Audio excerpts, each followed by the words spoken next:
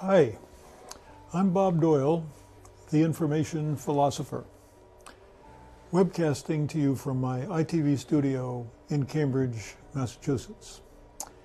And our lecture today on Wednesday will be on philosophers and scientists.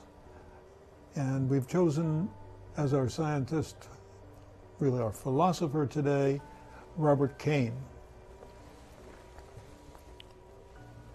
Kane is the leading libertarian thinker uh, among the dozens and dozens of philosophers who try to deal with the problem of free will and moral responsibility. And for a long time, I identified him as the leading libertarian uh, because he was uh, one of the few who adopted some of the ideas of scientists who had considered um, the role of quantum physics and indeterminism in uh, creating a break with past uh, deterministic laws of physics, the classical mechanics laws. And so Kane has always seemed to be on the leading edge of those thinking about this problem. For example, one of uh, the comparison philosophers I chose in my book uh, was Dan Dennett.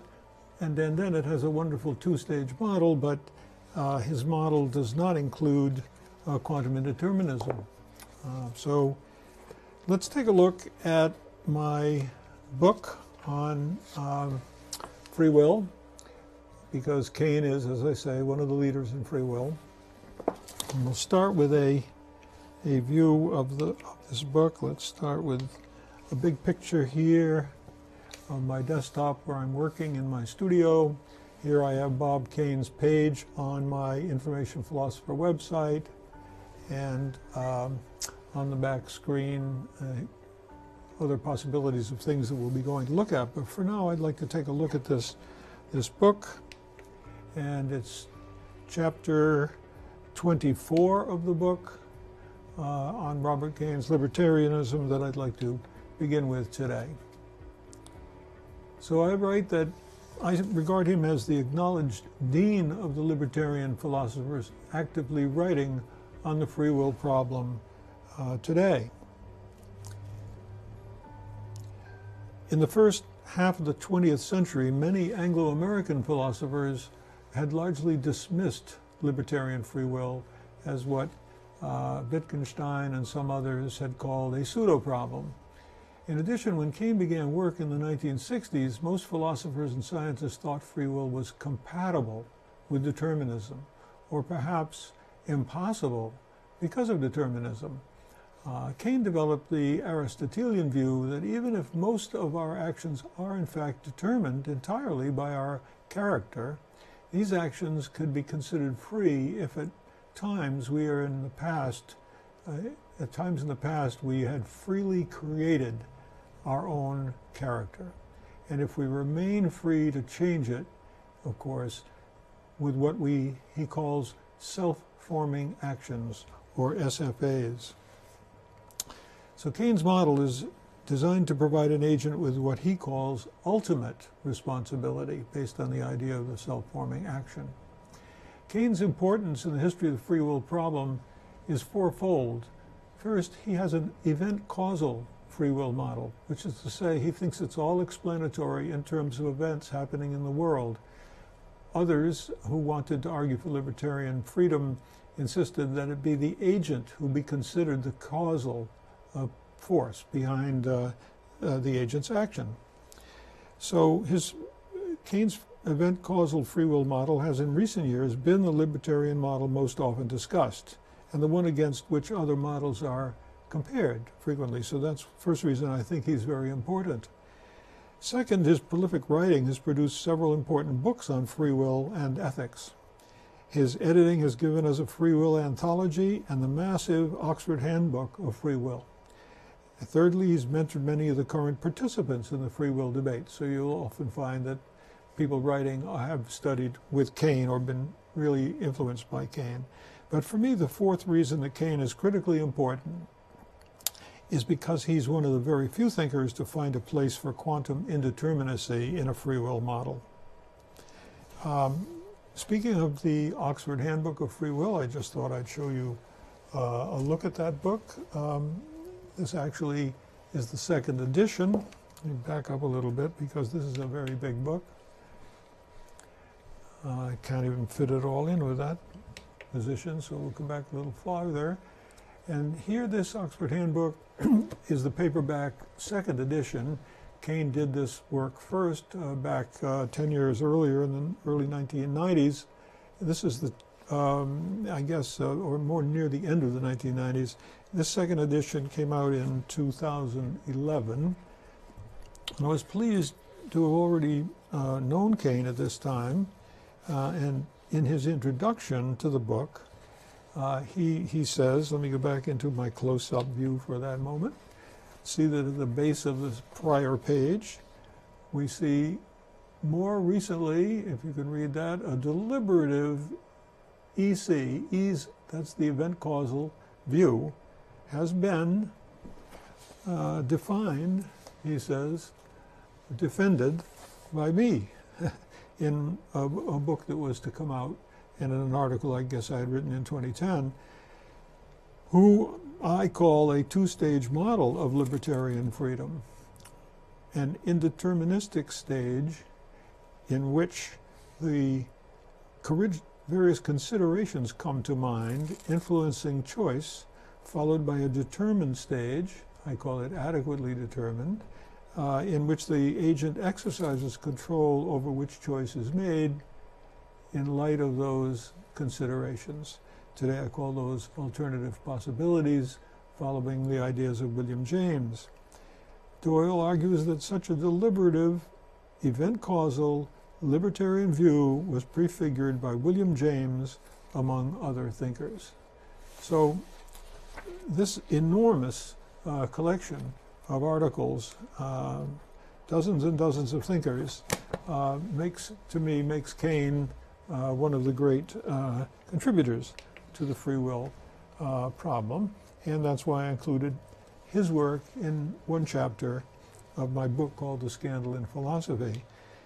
Now, a large part of the scandal had to do with the important connection uh, between the idea that moral responsibility, or what Kane called ultimate responsibility, has to do with the question of whether or not we have free will. That is to say, that we are free um, not just from coercive uh, forces that prevent us from acting, which has traditionally been called freedom of action, but true freedom of will, uh, freedom of thought. We can come up with new ideas and we can act on those ideas. So Kane definitely is in this camp that he believes we have this libertarian free will as opposed to thinking that everything we do is something that's happening to us. So let me go to my uh, uh, Kane page on, on an information philosopher. Here's a picture that I took of Bob at the Harvard Faculty Club when he came to uh, stay for a couple of days in Boston and uh, made a video of the uh, chapter in, in the, uh, his Oxford Handbook. Uh, let's come back to that for just a moment, see if I can find this.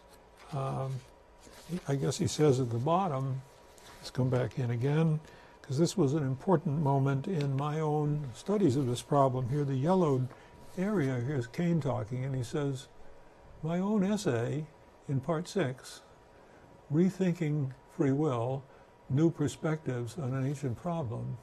And then he discusses the idea of centering randomness in the middle of the decision. That is to say, free will that places indeterminism in the choices or decisions themselves.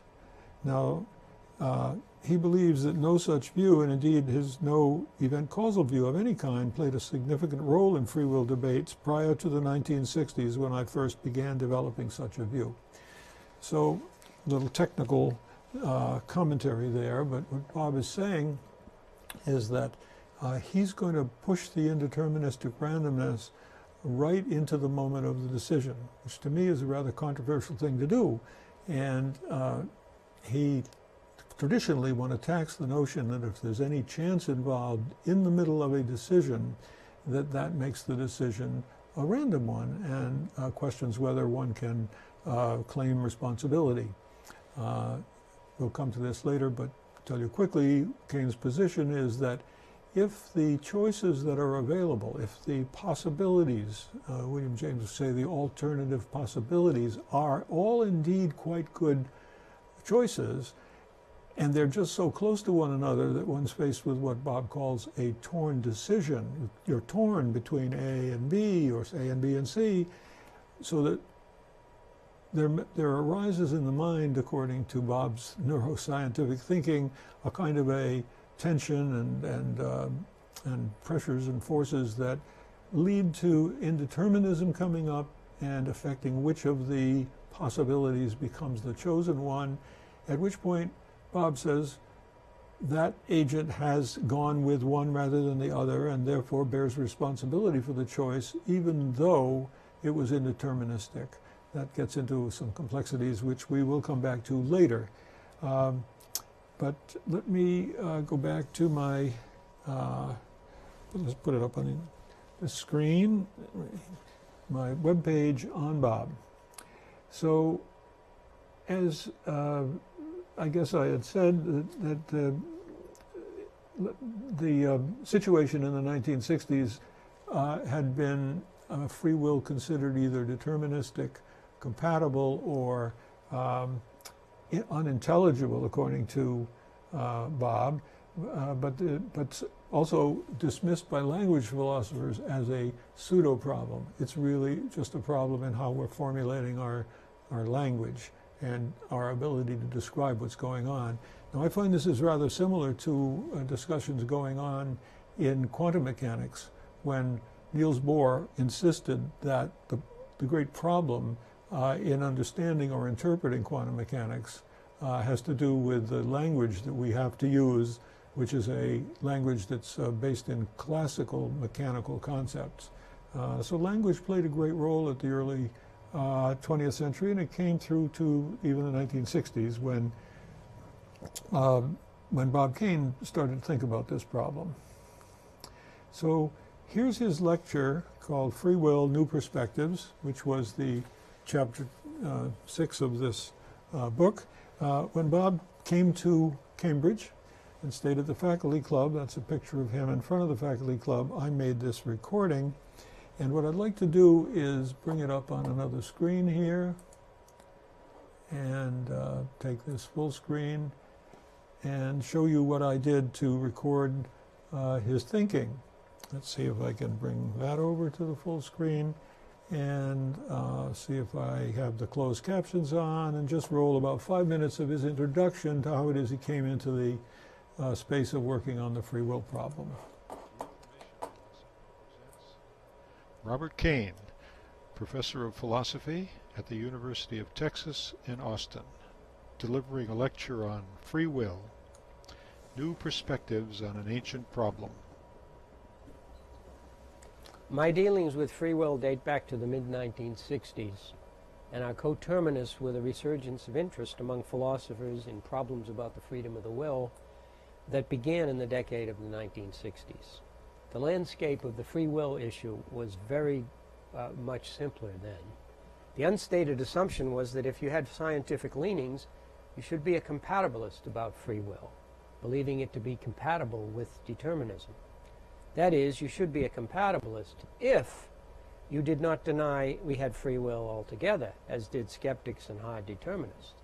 And if you were a libertarian about free will, believing in a free will that is incompatible with determinism, you must, in order to make sense of such a free will, inevitably appeal to uncaused causes, immaterial minds, noumenal selves, non-event causes, prime movers unmoved, and other examples of what P.F. Strawson called the panicky metaphysics of libertarianism in his influential 1962 essay, Freedom and Resentment. So let me pause here and um, see where Bob has situated his own thinking. It's in a time when people either were what he called hard determinists.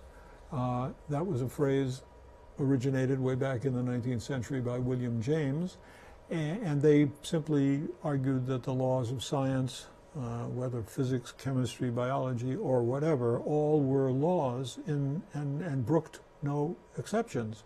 So uh, one thought human beings are the consequence of causal laws determining everything we do. On the other hand, William James had come up with a phrase called soft determinism, in which uh, people argued, well, we may be determined because the overarching view of the world, whether it's a religious view of an omnipotent God or the uh, universal laws of nature, which, since they applied to the universe as a whole, surely they apply to human beings as well. Uh, nevertheless, uh, as long as we aren't being locked up in a jail somewhere, so we have a freedom of action, uh, maybe this is good enough because, in particular, a certain event that causes us to think in a certain way, it at least puts us in the path of the causal chain, and we are therefore responsible for what comes later after we have have this thought or make this choice.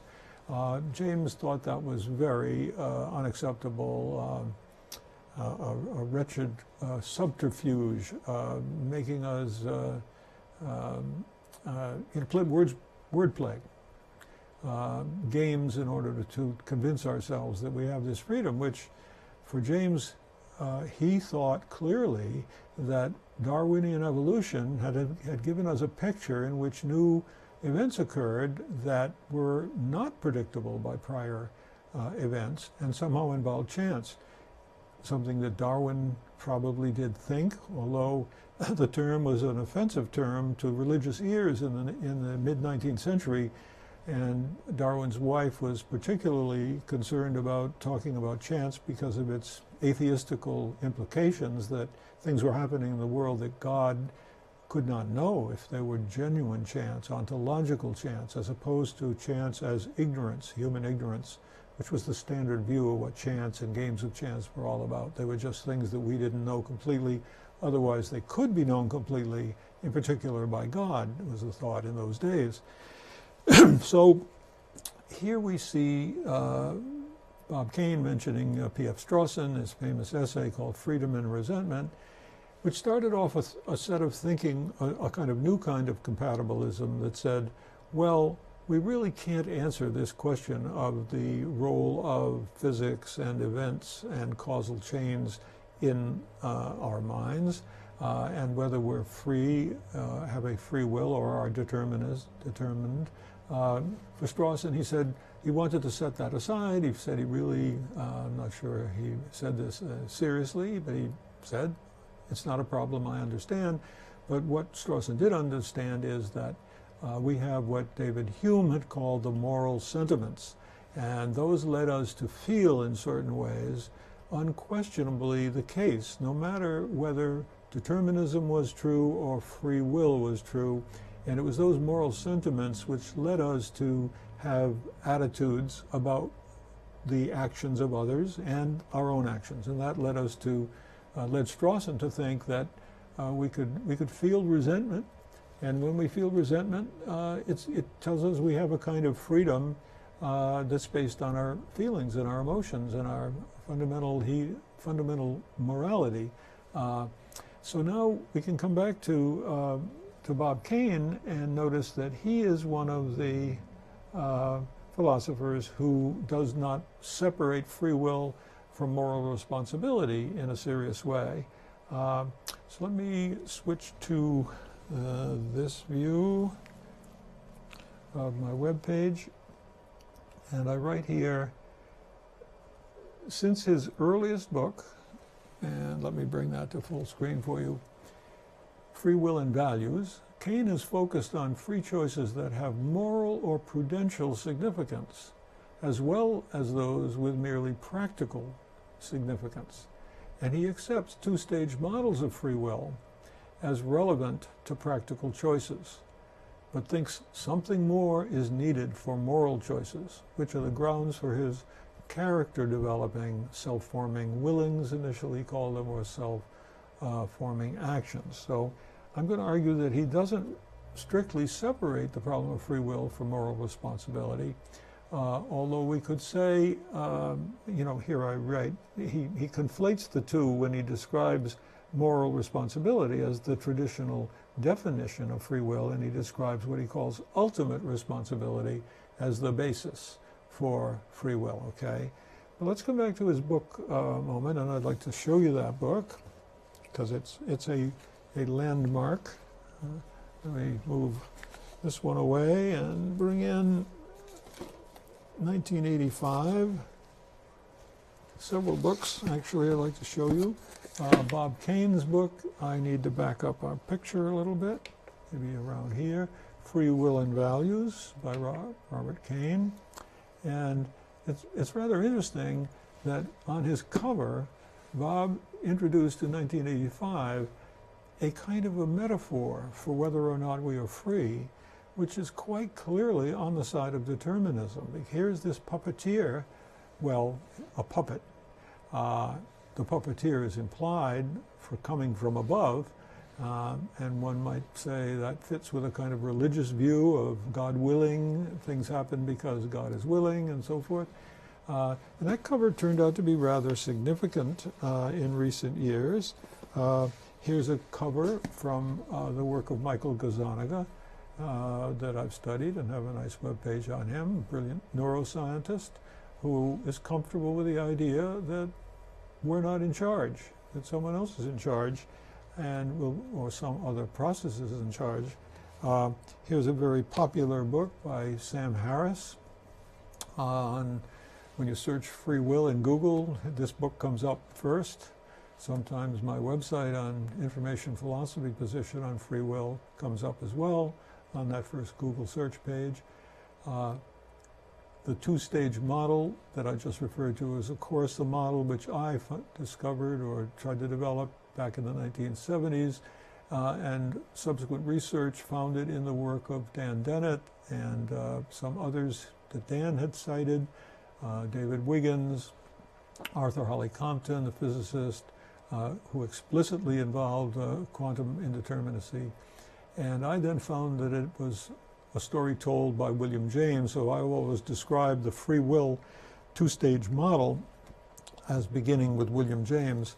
Now here's a great religious uh, theologian philosopher uh, in, in England, and once again, Here's uh, the, uh, not exactly a puppet here, what we have is pictures of a human being cutting away the strings uh, that are presumed to have tied him in modern science. Swinburne is kind of opposed to materialist, reductive, uh, scientific uh, views that uh, we are just physical objects and can be controlled by physical laws. So on, let's see if I can remember where uh, Bob's work is here. Uh, let's see, Popper, right.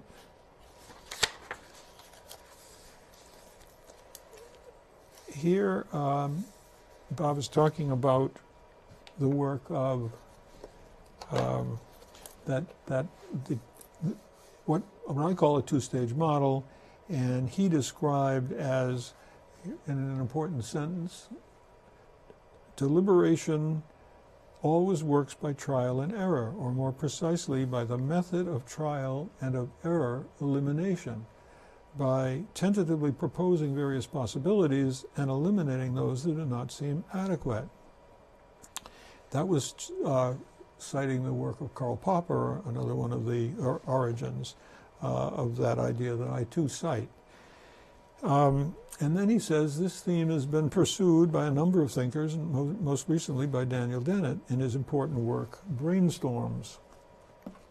And Brainstorms uh, does indeed uh, have a wonderful account, which I can bring in, uh, peek at it later, um, in which Quint- Dennett uh, approves the, the claim that the essence of invention is the intelligent selection from among chance generated candidates. Okay? To go, and he goes on to suggest a model of decision making based on this idea. And it turns out Dennett's idea was an idea that was uh, very well known in the work of uh, uh, Allen Newell and Herbert Simon. Uh, and he Dennett proposes this model as something that libertarians should be willing to accept. And uh, Bob Kane said he agreed, but with the proviso that such a model is only directly relevant to contexts of practical decision making. Okay? Moral and prudential choice, as I have emphasized, must be treated differently. Now, I really need to kind of discuss this uh, because, uh, for starters, I'm happy uh, that, we'll bring this one up again, uh, that Kane is accepting of um, practical significance uh, would be okay for two-stage models. Because what that does, as I see it, is the Kane can agree and accept the idea that most of our decisions that are free decisions uh, are uh, practically free and apply to our practical choices. Now, the question of why we move to include moral responsibility uh, is an historically very important one. Bob Kane is a, a theor- an ethical theorist, and he's very interested in the human problem of how it is we decide between good and evil, how it is we choose between good and evil, how it is, in particular, that human beings form their character so as to be uh, considered to be good or considered to be evil. Uh, and he lets that come into his work to the extent that, uh, as I say here, he needs something more uh, for moral choices. And those are the grounds for what he describes as self forming action. Um, oops, I guess I just hit a wrong link there for a moment. Let's see if I can get back. Here we are. So, like most philosophers, Kane does not separate free will from moral responsibility.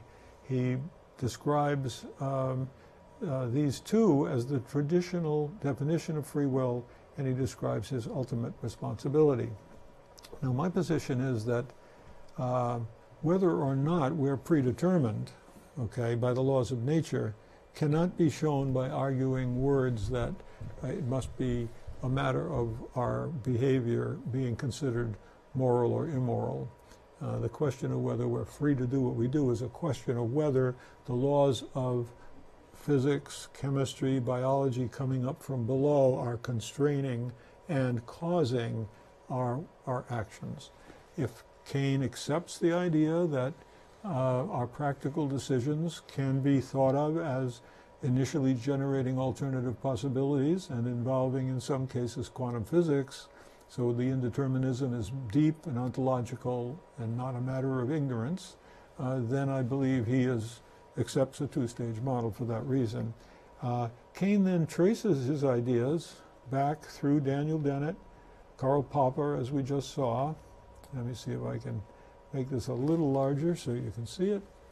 And uh, they even be traced earlier to Bertrand Russell and Arthur Stanley Eddington, all the way to Epicurus, who basically uh, first argued that a swerve of an atom could play a role in breaking away from the idea that everything is determined by laws of nature. So here on my webpage, I have another presentation that Bob made at a conference in Barcelona in 2010 uh, called can libertarian free will be made consistent with something or other? Uh, science.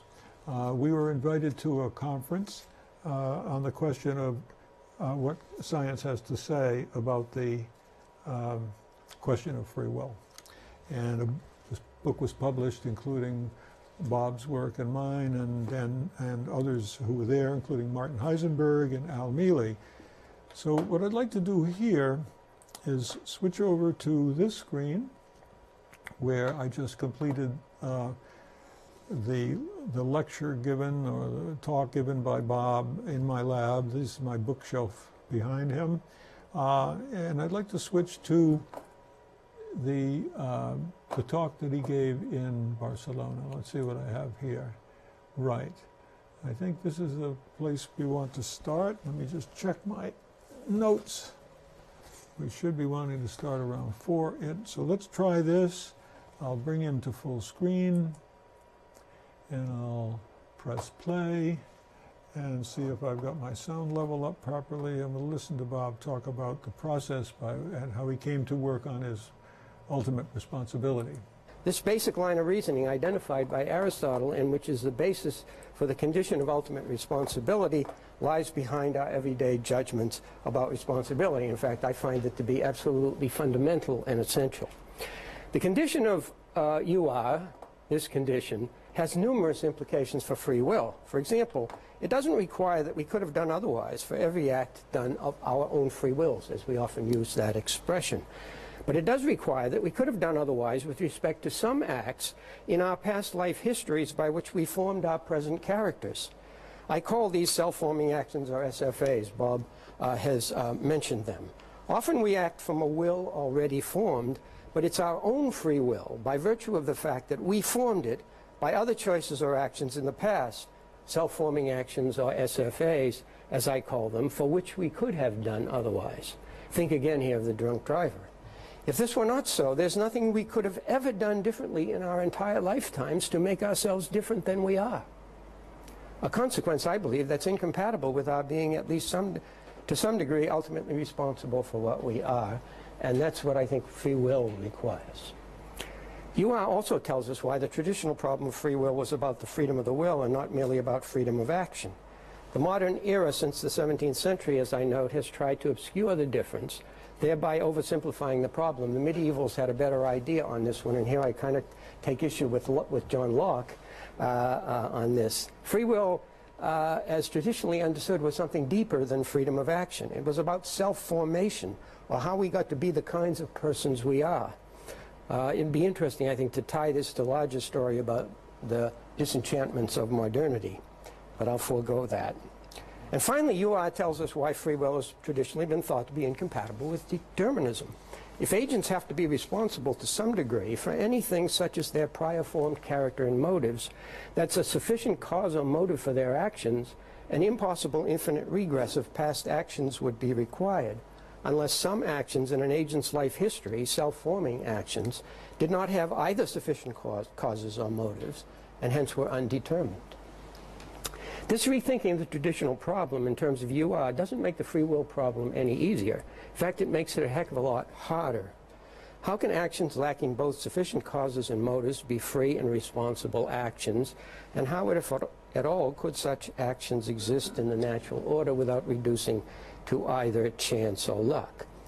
Now, as Bob Doyle notes in, in his instructive and insightful presentation of the recent history of these debates, I believed early on that quantum theory must have something to do with the solution to these problems, but it was really difficult to say what. For most scientists and philosophers had scoffed at suggestions by Compton and Eddington and other people that Bob mentioned uh, that quantum theory made room for free will. That was too simple.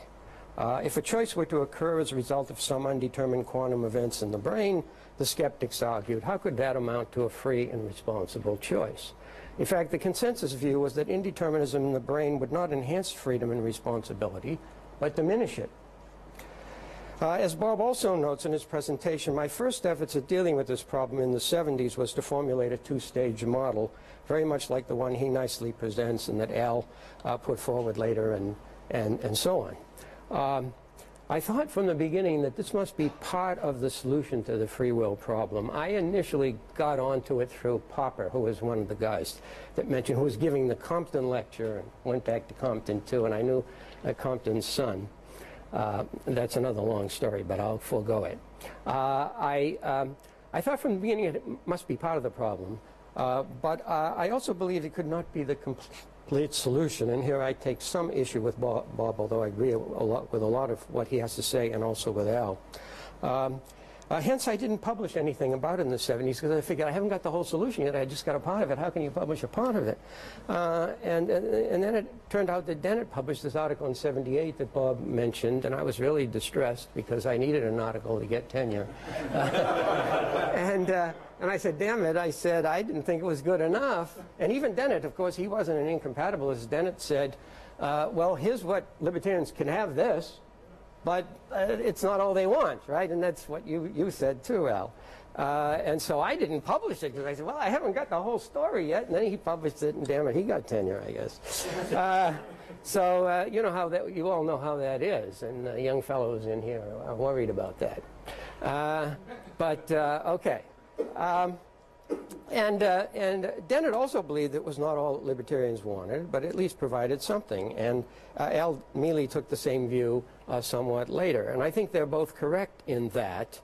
Uh, and so I made the two-stage model a part of my own theory in, 19, in a 1985 book, uh, but only a part, and I tried to go beyond it. And this is where it gets dicey. Uh, I'm even more... Indeed, it does get dicey at this point, uh, but here I hope we've gotten an insight into how um, Bob Kane viewed his work and how he worked through many of the philosophers who had an idea for either the contribution of quantum randomness to creating a break in the deterministic causal chain of events, which would be a kind of necessary precondition before we had a human being doing something that was not determined in the sense of predetermined from long before they began to think about it. Uh, if every single event was causally connected to every previous event, we have complete what, what William James called hard determinism. So James had introduced the concept of some chance. Uh, there was no real uh, belief uh, of existence of any chance in the 19th century.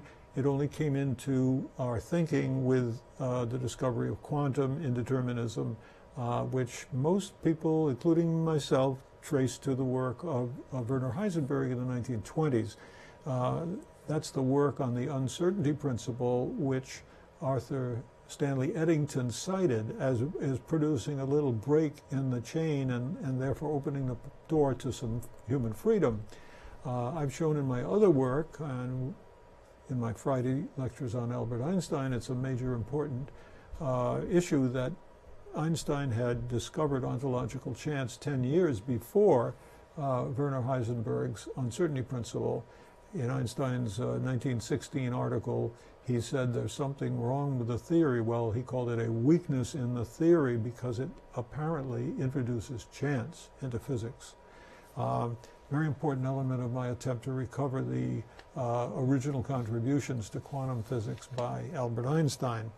But coming back to Bob Kane in the 1970s, uh, when he began, I began my work a little earlier, but I had it no, not so clearly formulated and not uh, carefully distinguished from other positions as William James did, hard determinism, soft determinism, freedom, human freedom, and so forth. And today we have a massive taxonomy of so many different positions. Uh, but Bob said uh, the Brainstorms book by um, Dan Dennett was, was a very important thing because he read there uh, what he himself had been thinking about. Now, that's very interesting because I was working along the very same path. I was familiar with some of the others, like Arthur Holly Compton, who decided a quantum event could be the beginnings of an explanation for free will. It's not a complete uh, description, as Bob says, because uh, if it's a random event in the brain and you do something random as a consequence of a random event or quantum event in the brain, it's hard to believe that you can take responsibility for that. Uh, if it was a bad event, it was a random event. You go to the judge, as they say, and say, I have nothing to do with it. It was a total random event. Um, so let's take a look uh, briefly at, um, at uh, the Brainstorms book of um, Dan Dennett. Let's see what I've got here. Hard to see where his name is. There he is, Daniel Dennett, and Brainstorms. Um, see if I can find the page. Contrefield model. Um, I guess it's not, not there. It's at a later place in the book. Yes, as, as Bob Kane just told us, Dan had suggested this um, in, uh, as, as an idea of giving libertarians what they say they want. That's a very nice idea. And um, he set it up um, where he thought at the time uh, we have compatibilism, and it's the, strategic favorite. So that's William James' soft determinism. But we must admit that no compatibilism free of problems, while full of the traditional flavors of responsibility, has yet been devised. Uh, now that's very interesting because I'm sure uh, Bob Kane felt the same uh, situation uh, in 1978. And so he went on to work in his uh, book called Free Will and Values in 1985. Um, I think there's a, a nice section in here of, of the book. It's on my webpage. Uh, first, is the idea why did he call this Valerian? Um, a Valerian model because he cited the poet Paul Valéry, which uh, Bob mentioned also. It captures the idea that it takes two to invent anything, okay? The one makes up combinations, the other one chooses, recognizes what he wishes and what is important to him in the mass of the things which the former has imparted to him. What we call genius is much less the work of the first than the readiness of the second one to grasp the value of what has been laid before him and to choose it. So here, says Dennett, and this is wonderful key description of the problem, we have the suggestion of an intelligent selection. And that, of course, is like Darwinian selection, but in this case, it's an intelligence doing the selecting from what may be a partially arbitrary or chaotic or random production. And what we need is the outline of a model for such a process in human decision making. Okay?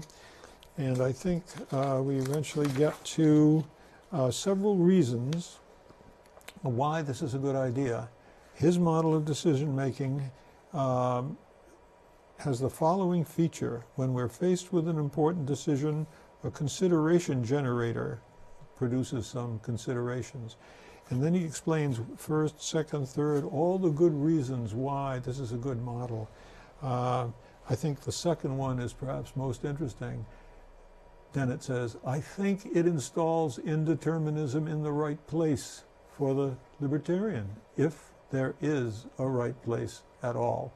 And Dan is skeptical because to, to this day he prefers the notion that everything is determined, but that as long as we are able to be free from constraints like physical constraints, and secondly, secondly as long as we're able to um, uh, be responsible uh, action uh, agents, responsible moral agents. He calls it having moral competence. He thinks that is traditionally connected to free will. Free will is often described as the precondition that makes moral responsibility possible. And what, what Dan Dennett does with this is to say that that moral competence can be regarded as a kind of free will, and it's the kind of free will worth wanting, as he described in his books, uh, Elbow, Elbow Room and, um, and Freedom Evolves, which just a quick look at these two books. Uh, there's Elbow Room and his more, more popular, I guess, well known, Freedom Evolves. Dan and Bob are two of the most important thinkers in this field. Uh, I made them the subjects of two of the chapters in my book, Free Will. The third was on uh, a, hard determinist, self described, Ted Honderich, uh, who uh, for years ran the Institute of Philosophy in uh, London, originally founded by Bertrand Russell, and the other was Alfred Mele. And Al Mele was at this conference at which Bob is speaking right here, and I have a little bit of quibbling back and forth between Bob and Al and myself uh, when I was trying to describe the role of that indeterminism, the role of that chance. And at the time, Bob was a little worried about that chance getting too close to being centered in the decision and it might cause the action to be at random. Uh, I thought I might just play a little bit of that uh, exchange. So let me go from here for a moment, see if I can find this section. Here on the screen is um, a fellow named Russell Wilcox who is trying to get a sense of what is the two-stage model. So let's uh, open this to full screen and let's listen to this for just a couple of minutes. Second stage of your two-stage process. In the first stage, the randomly generated possibilities, Right, if I've understood it correctly. that's right. And these are quantum, quantum Only in order to be free of the projections that the universe has determined us to be what we want to be. It could be another kind of random. So the second stage is, is, in a sense, thinking about these possibilities and going around, right? And, and, and, and fastening on one rather than the other. Yeah, Now, the fastening, yes. is that a quantum event? No, No. It's a random, ev- it's not a random. no, no. No, the randomness has generated our possibility. This one. Uh, But Bob Kane has a bigger level answer, and that has to do with a responsibility issue. Well, notice, there- there- there- there's something got to be very clear on here, and that is, between the time when the last uh, uh, undetermined new idea comes and the choice is made, there's going to have to be some time gap there. Yeah. And between those two, it's determined. It's, That's part of the two-stage model, you can't get away from it. So you have these ideas, and you might bring it right up close and whatever, but it's still going to be determined. There's going to be a determined gap right in there, which means that the choice finally made is going to depend on chance events that came to your mind over which you didn't have control, which of them came to your mind. It's going to be determined by that. Right. That's my problem. Right. Notice how weird that is with a moral choice, which I mentioned yesterday in connection with, I forget which. Uh, imagine a moral choice in which you are going to decide whether to murder or not to murder on the basis of which chance events comes to your mind. That's my problem. that's Kane's Uh, objection. That's why I think it can work with practical reasoning, but it has, you get into real problems with morality. With morality, right? Okay, we're, we're in a subroutine. So I'm going to just pause here for a moment because here's Bob Kane, and I was off screen to the left, and this is our host who organized the conference, Antoine Suarez. O- Off to Antoine's right, um, or to his left as we're looking to the right of Antoine, uh, uh, Al Mele is there, and he sort of takes issue with where uh, Bob Kane is going here in criticizing the two-stage model. Uh, let's see if we can uh, hear what that uh, was said. Oh. Yeah, yeah. But Bob Kane is being unfair to the two-stage model. So I like that. I like that little section. Bob Kane is being unfair to the two-stage model. Uh, let's listen to that again. No problems with morality. With morality, right? Okay, we're, we're in a subroutine. Yeah, yeah. But Bob Kane is being unfair to the two-stage model. So at any moment, until you make the judgment about what's Right. best, something might come to mind. What is the last moment? Um, Well, but, but, the, but it comes to mind. In other words, if, for example, you're thinking you're going to murder, and then at the very moment a new thought comes and you don't, that thought just came. It was undetermined. It isn't like you decided not to when prior you did. And you you, you decided not to because a thought came to your mind, and if it didn't, that was hmm. pure no, chance, So whether it came or comes to your not. mind, and you get to assess it. You keep thinking. Well, it- well then, then that thinking is it's determined. So it's still determined by the last one, whether it's at the last moment or No, several seconds earlier. Not determined because the shape Well, in other words, your thinking- thinking is not determined. Yeah. Okay, Well, so- then, then, then you got a model like mine. This is important, Peter. My thinking So this is, so this is, I'm sorry, So as I uh, try to say there, this is important, Peter, because we're homing in on whether or not a new thought, which is, occurs to someone at the last possible moment, uh, is determinative of the new action. Now, Bob is right in one sense, and I think um, Al Mele in the back is saying, no, it really isn't. Uh, and here's the way it goes. For Al Mele, he's saying the new thought appears at the moment. It is then evaluated compared to the previous set of thoughts, which were still not being resolved in the form of a decision. And so it includes the second stage in Al's version. He says, You're not being fair to the two stage model. The new idea is just another contributing alternative possibility, as James would call it. And if it's genuinely random, as Bob, I think, agrees with me, uh, it then is a free thought. It doesn't mean that because we now choose it and go with it, that that has in any way uh, contaminated, so to speak, our action and made it somehow a random action. Uh, I'd like to show you a, um, a diagram and see if I could figure out where this is uh, on another screen. Let's see, I will drive to free will here. and not quite sure where I can find it, so give me just another moment. To information philosopher, and we'll go to Bob Kane. Let me show you the screen I'm working on. This is my book screen, but I want to scroll down to Bob Kane's page, which I guess I have that page uh, over here. So it's coming over to this one. Excuse my clumsiness. But as I scroll through the Kane page, I believe I had a, a very long discussion of his ultimate responsibility and alternative possibilities. Uh, my goodness, this is a huge page. But somewhere in here, I believe I produced a, a description of what. Now, I'm not going to find it very quickly. no.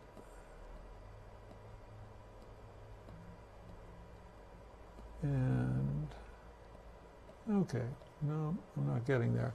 My apologies. I'll come back to uh, my own, mm, over to this screen, and we'll try free will, and we'll go to the cogito model, which is the name I gave to my free will model some time ago. And I think we'll eventually find the diagrams I'm looking for here. Here we go. So what the picture of free will was, uh, let me bring that up to our main screen. The picture of free will that people had before Bob Kane, and, and then it suggested this way of thinking about one step and another step. It was always thought that the decision was just something made as a consequence of the fixed past, and it determined the future. The decision determined the future. The decision was itself determined by the fixed past. The last thing that just happened before the decision was causal. And it seemed as if Bob was getting into that possibility in that discussion in Barcelona. So the two stage model is basically saying, well, um, instead of the fixed past going quickly to the decision, what it does is the fixed past uh, has a period of generation of possibilities, which I've identified with the early time of the rise of the Libet uh, experiments showing the readiness potential that something's going on in the brain before the decision. It could well be that we're just thinking about possibilities, and then we evaluate the possibilities or the alternatives, and we make the decision, and then that gives us the future. But let's go in and home in on what it is that Bob Kane was just talking about.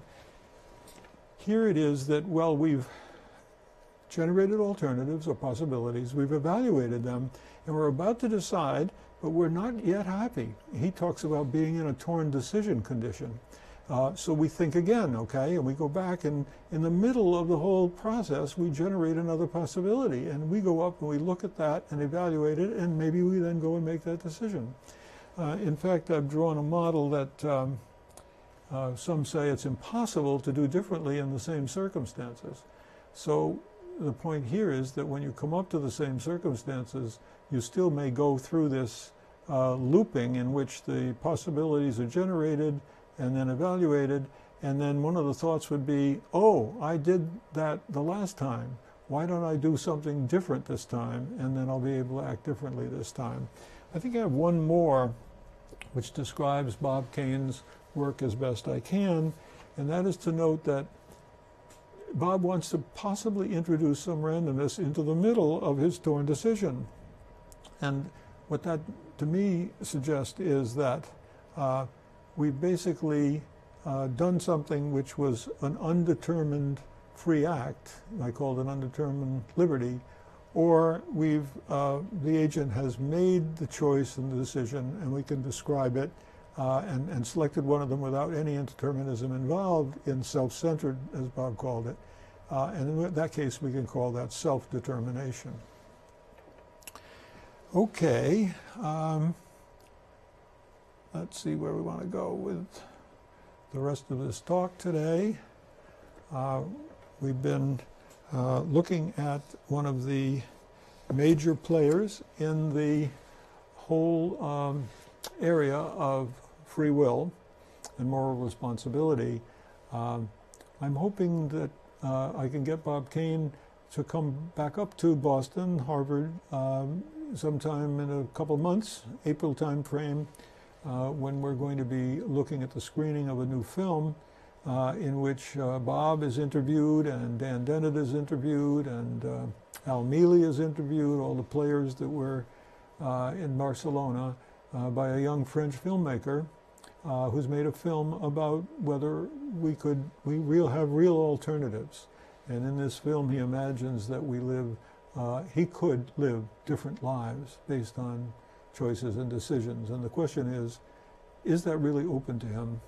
And so he tries to find the answer by interviewing uh, not just the philosophers I've mentioned, uh, but also Michael Gazzaniga, uh, Galen Strawson, who's the son of P.F. Strawson, that Bob uh, mentioned in his opening lecture, uh, famously the notion of freedom and resentment, uh, in which you, we feel resentment, and that doesn't have seem to have anything to do with uh, a lack of causal processes.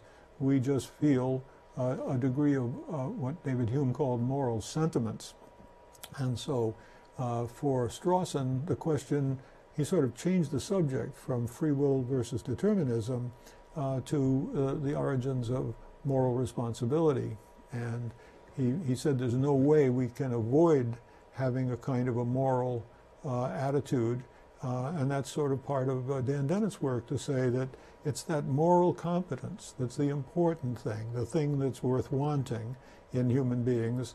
And it's not a question of scientifically whether or not atoms are under the control, uh, complete control, or free to do slightly different things and therefore interfere with our thought processes and add crazy new ideas to our brain.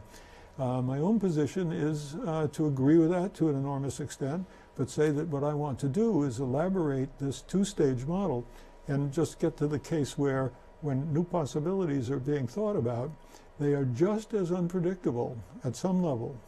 Uh, in particularly creative people, They're, they play an enormous role in what it means to be creative and bring new information into the world.